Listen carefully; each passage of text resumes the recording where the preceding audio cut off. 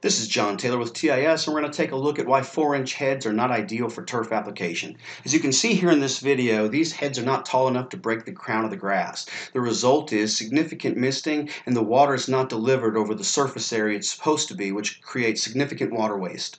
The corrective action is to use a 6-inch head rather than a 4-inch.